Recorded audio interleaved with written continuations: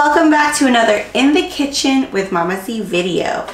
It is, um, I don't know if you can tell from behind me, but it is Christmas time. I know it's been a minute since I did a video, but this is something I've been doing a lot of lately, and people have been getting requests for me to make some for them. So I decided, you know what? I am going to show you guys how I make these boxes. Or I forgot what I um, forgot what I said. We're making charcuterie boxes. So I've already made one here. I'll open it up for you. This is the final product.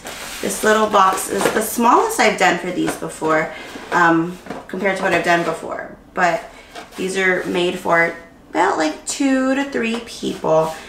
And I'm gonna make a bunch of these today. Um, I have everything that I put in the box laid out in front of me. So if you don't, um, you know, know what charcuterie is, it's the meat here. It's the salami, the peppered salami, prosciutto, dry coppa. That's what's in my little little charcuterie pack I got from Costco. Most of this I actually did get from Costco and Target. Um, usually charcuterie boxes have cheese, so I have cheddar and brie that I've cut up. These were in blocks from Costco and I just cut them up. Um, I have some nuts here. I've packaged them up, packaged them up nicely so they're not like moving around the box. And then I have some crackers, fruit, and then because it's the holidays, I picked up this pack over from Target. It is a like pretzel, chocolate covered pretzel, um, you know, festive candy mix that I like to add in just to give the box some sweets as well. Um, so let's go on ahead and start making our boxes. So let's get started. Uh, this box here is what I'm using. I got it on Amazon. As you can see, it is a holiday themed box, but you can also purchase just plain or whatever event you're using, maybe birthday boxes. I got these on Amazon, so we can put a link down below to these holiday boxes and to some plain boxes. But this one here, like I said, could feed about two to three people. It's about eight to maybe like five and a half inches um, sized box. First thing you need to do is cut up some parchment paper to fill it, to put on the bottom. So that's what I've already done here. And then we're gonna go ahead and start filling our box. I like to start with the really big things. So I have the block of cheese. Got some of our nuts here. These are um, from Costco as well. And then the grapes people usually really like. So I'm gonna put a nice bundle grapes just to the side here. There's really no method other than where do you think it'll look nice in the box? And I like to fill it up, like I said, with the big things first. After I've done that, I put in some crackers.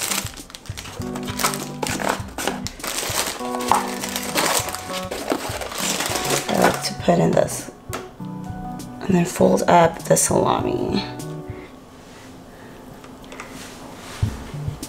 Folding them in half, like so, and then just wedging them right next to the cheese.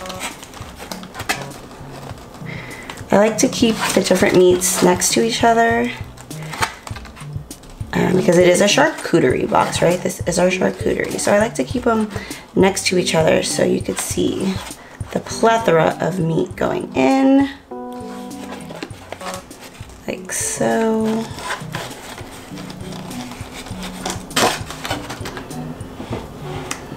And you can fill it up with some strawberries.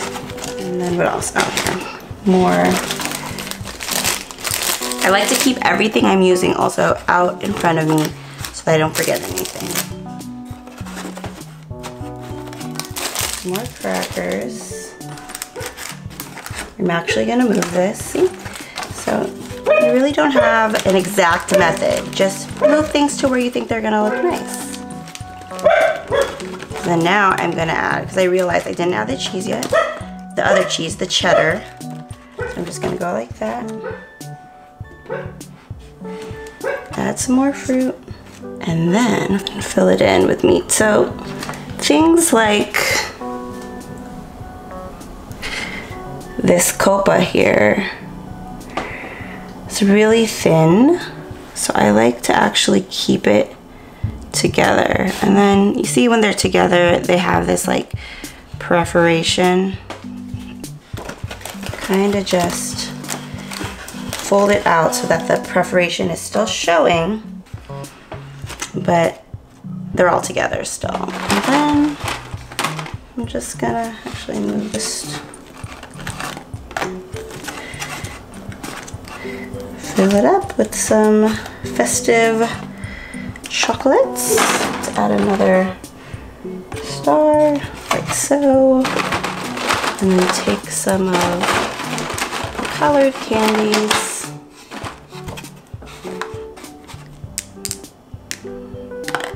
Drop in the colored candies. And then what I didn't mention earlier is this. Got some thyme to put on the side. Like that. You know, just flip some of the stuff around to make it, there you go. Make it nice and pretty.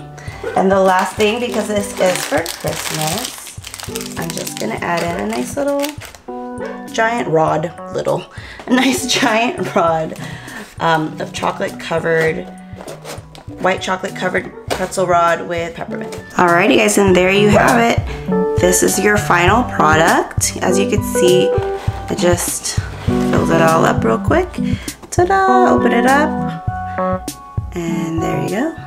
All right, so all of this could also be put in a really big box um, that probably feeds about eight to 10 people, like as many of the items as I'm using here. So instead of using a small box, you can get one big box and fill up like that. But I'm doing small boxes today because, um, you know, they're easier for gifts or if you're doing like a socially distanced picnic um, or, you know, just little thank yous for people for the holidays. I feel like this is a really fun gift to give people. And it's perfect size if you're like one person to eat all of it for lunch. You know, just little, it's like adult Lunchables. Um, so I hope you enjoyed this video. If you want to see more from us or more from me, please you know, give us a thumbs up, uh, like, subscribe, all the things. And if you want to see more of what I do every day or, you know, just of our daily lives, we do family vlog and we do post a lot on Instagram. So we'll leave our handles down below and we'll catch you guys next time. Bye.